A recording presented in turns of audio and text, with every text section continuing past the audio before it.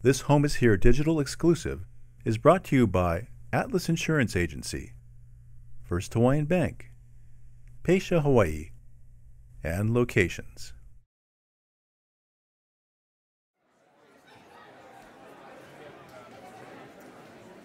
Growing up, I literally was forced to go to judo class. I wanted to go straight into karate. I didn't want to go to judo.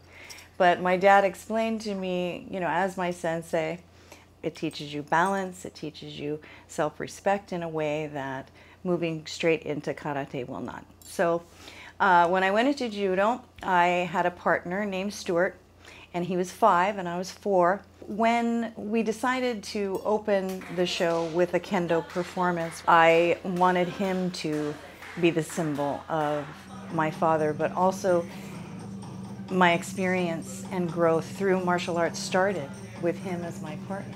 I said, you know, I've been invited to New York Fashion Week and I'd love to open the show with kendo. And I was thinking so heavily about you because we grew up together.